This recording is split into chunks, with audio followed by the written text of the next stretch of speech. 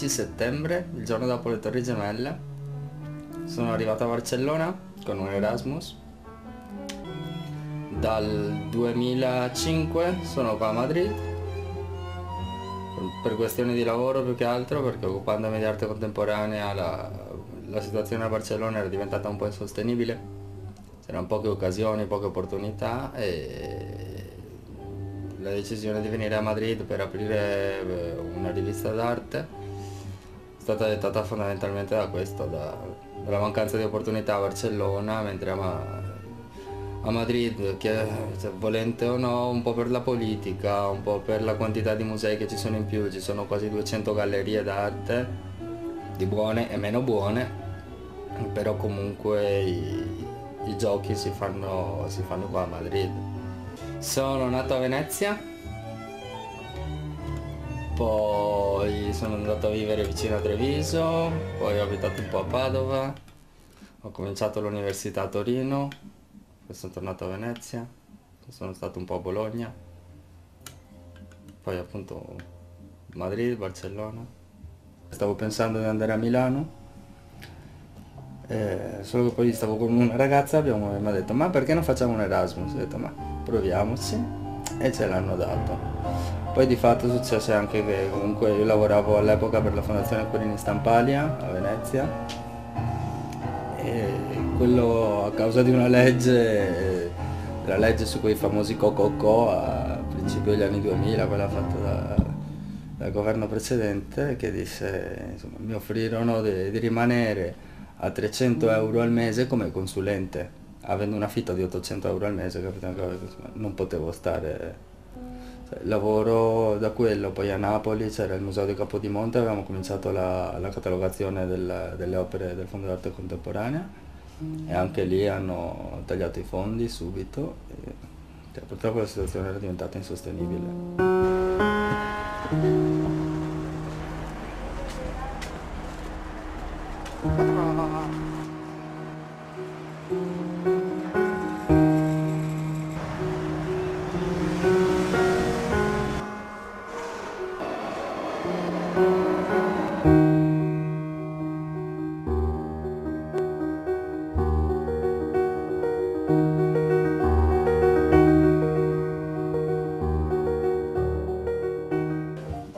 Cominciato beh, grazie alla famiglia, cioè, i genitori hanno una rivista d'arte in Italia, si chiama Arte In, e avevo 20 anni e hanno cominciato a farmi fare le notizie piccoline, quelle di 5 righe, per farmi, per abituare a scrivere. Ho iniziato a scrivere un po', quindi a fare i riassuntini dei vari comunicati stampa, fino a che poi hanno cominciato a darmi articoli più importanti, un po' più grandi, di 2-3 pagine, poi ho cominciato a scrivere per, per Exibart. Lavorando con l'arte contemporanea a Venezia, era, cioè Venezia purtroppo ha come, secondo me c'è un veto su quella città per lavorare con l'arte contemporanea.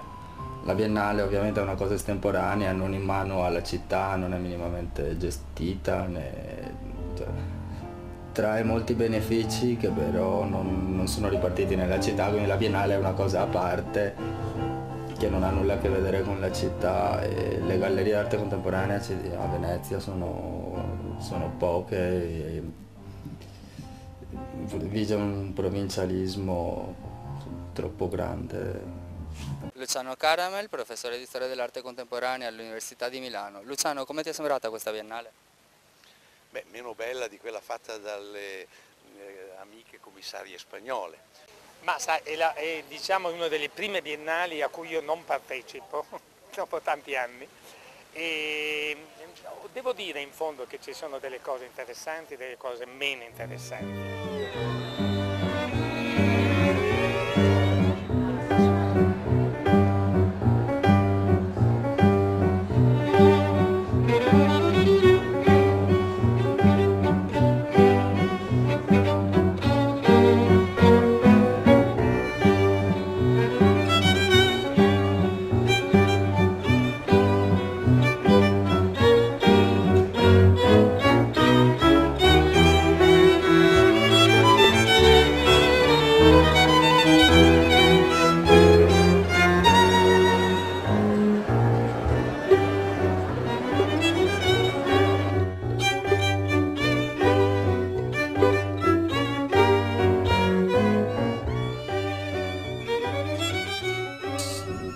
Sono anche qua piccoli problemi ovviamente, eh, persone che hanno più o meno buone relazioni, però comunque eh,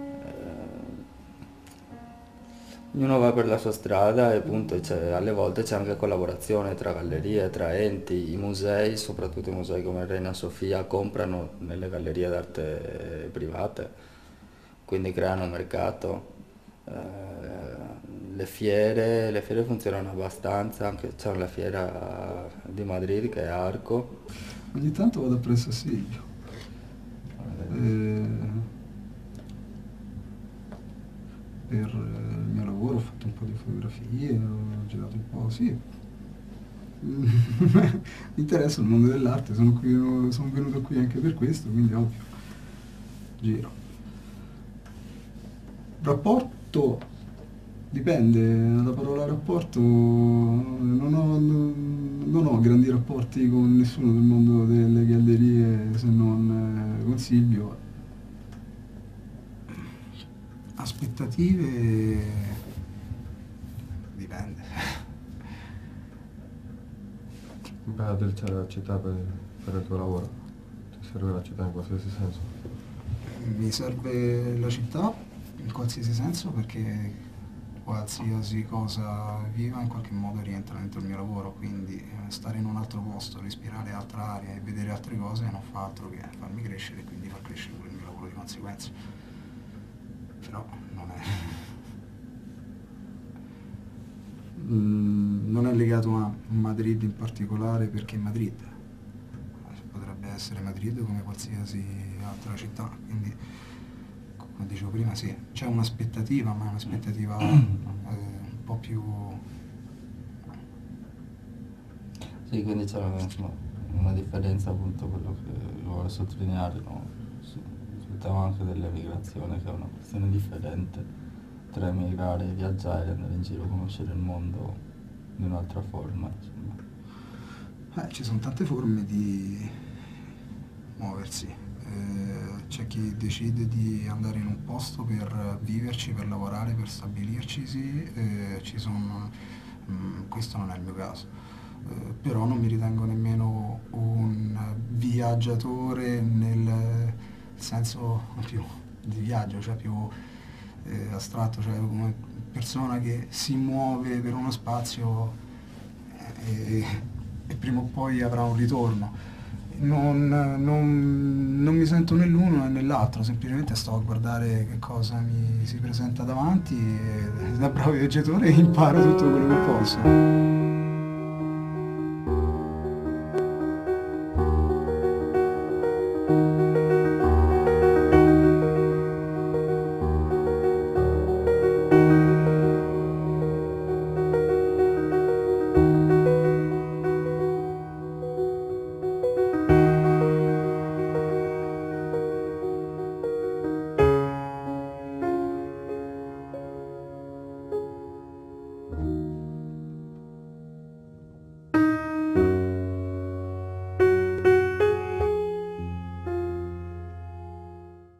Questa è una fotografia di Francesco Impellizzeri, che è un performer che vive a Roma, anche se negli ultimi anni ha vissuto anche un po' qui a Madrid. Eh, bueno, come sempre tutti, come tutti gli artisti e tutti quelli del mondo dell'arte viaggia molto. Questa foto in particolare me la regalò quando, quando, viene, quando venne a Madrid, lo ospitai durante un certo periodo e grazie, come ringraziamento per quell'ospitalità mi regalò questa piccola foto che rappresenta il Bodyguard Peep Show che è una performance in cui lui si, si maschera da bodyguard. Questa è una grammatura di colore di Elio Marcheggiani del 1979.